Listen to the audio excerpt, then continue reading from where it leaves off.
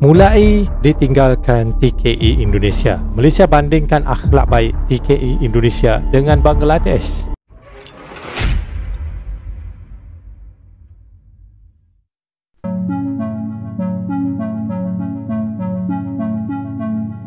Yalah tapi memang betul lah tak dapat dinafikan.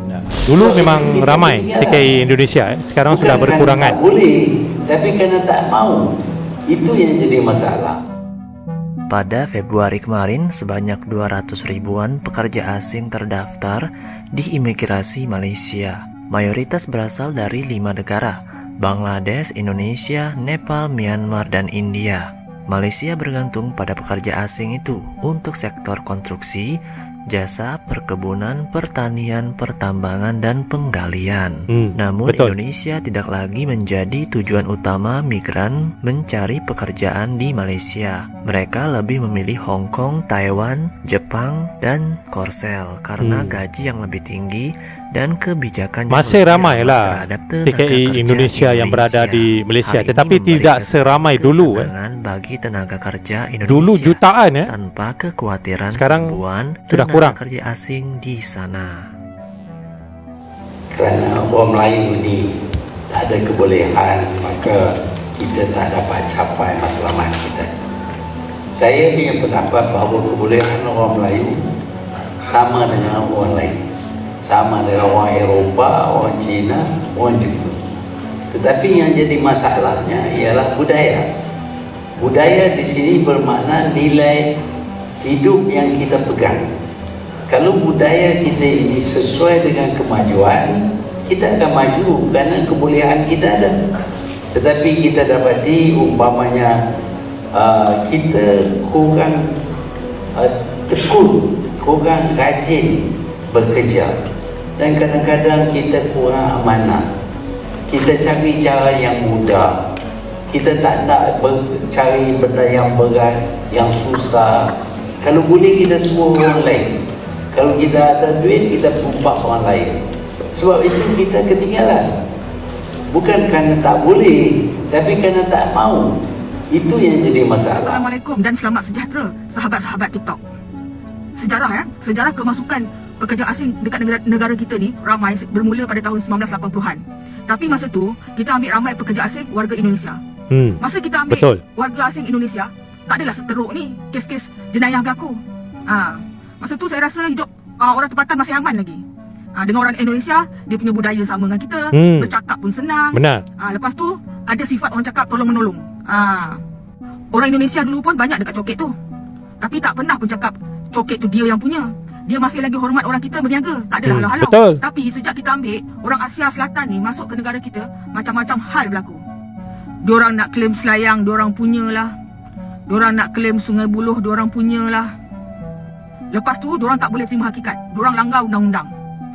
Meniaga sesuka hati. Ha, lepas tu apa lagi? Bawa kenderaan sesuka hati. Ganggu-ganggu orang tempatan dekat sungai buluh dan sayang sana. Itu yang membuatkan rakyat marah kalau orang baik dan hormat macam orang Indonesia tu dengan rakyat tempatan, mungkin kita diam. Mungkin kita tak adalah marah sangat. Tapi kalau kita tengok statistik ya, peningkatan jenayah warga asing ya, kali ini memang tinggi berbanding tahun 1980-an dulu. Hmm. So, sebagai rakyat Malaysia yang dah rasa tak aman dah sekarang ni, fikir-fikirkanlah. Apa yang perlu kita lakukan untuk kita sama-sama membasmi isu ni. Fikir-fikirkanlah, betul tak korang?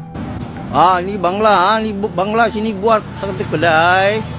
Ah lu tengok sini dia boleh buka tepi jalan pun dia boleh buat. Oh Bangladesh boleh berniaga eh. Ini Siap ada meja kerusi lagi. Cakap ini kereta sini dah boleh parking.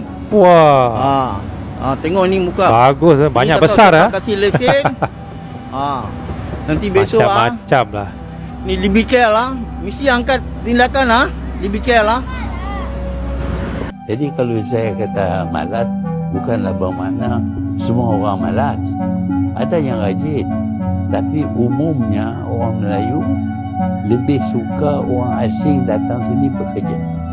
Kalau negara kita ini menjadi negara berbilang kaum, sebabnya ialah kerana kita tak sanggup bekerja. Nah, sebab itu orang India masuk sini, menuri getah. Bukan orang Melayu tapi menuri getah. Kita boleh tapi kita tak mahu kena bangun pukul lima pagi dan sebagainya. Kita rajin tapi kita tak nak bangun.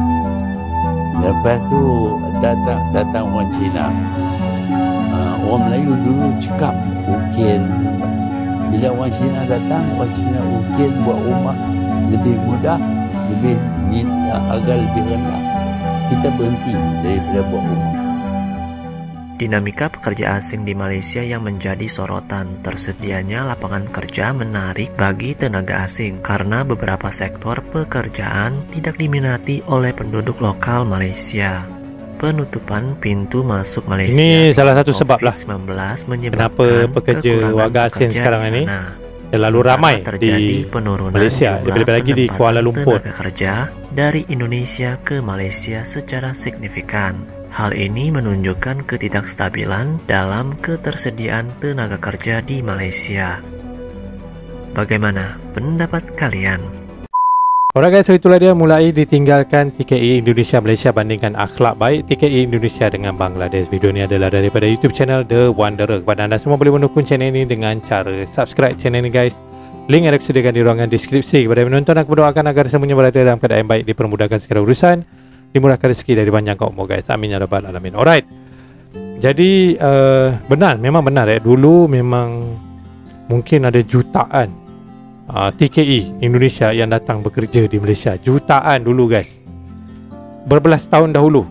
Uh, memang orang Indonesia lah yang pekerja asing yang paling ramai yang berada di uh, Malaysia eh, mencari rezeki di Malaysia kerana uh, daripada segi perbezaan mata wang lah itu sebab utama lah. Ok?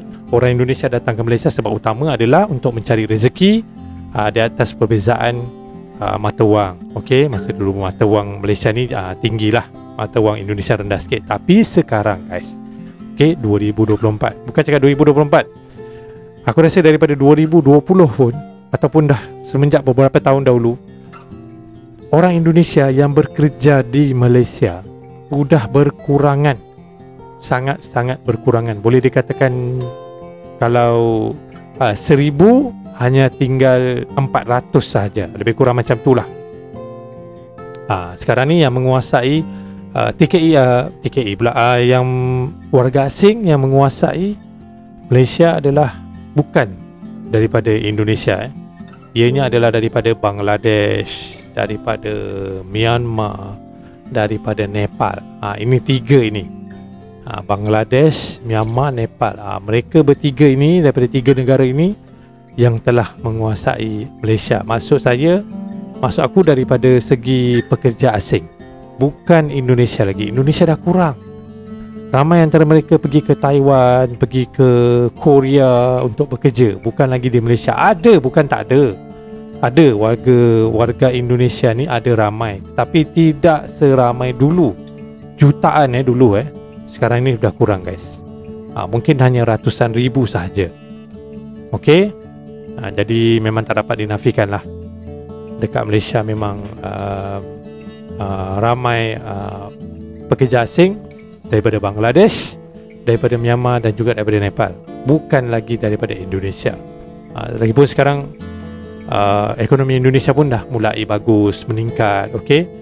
Dan mata wang pun mulai agak sedikit tinggi ya?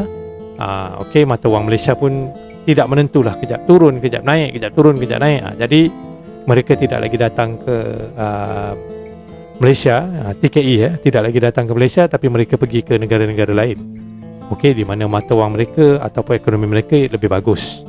Uh, banyak yang pergi ke sana lah uh, dekat Malaysia ada tapi dah berkurangan lah begitulah guys hakikatnya.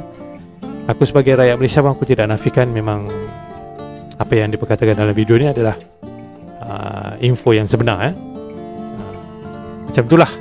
Uh, orang Malaysia ni bukannya tak pandai buat tapi tak nak buat. Uh, seperti mana yang diperkatakan dalam video ni. Uh, begitulah guys. Tapi apa-apa pun Alhamdulillah uh, Malaysia Indonesia tetap aman. Tiada uh, peperangan tiada apa-apa perkara yang dahsyat berlaku antara dua negara. Alhamdulillah. Okey kita bersyukur kepada Allah masih hidup dalam keadaan aman dan damai ya. Uh, okey jadi apa-apa pun semoga hubungan baik antara semua negara lebih-lebih lagi di Asia Tenggara ni akan semakin erat uh, insyaallah untuk mem- mempertingkatkan ekonomi negara masing-masing. Okey guys aku rasa sampai di sini saja video kali ini. Semoga kita berjumpa lagi di video aku yang akan datang. Assalamualaikum. Bye-bye.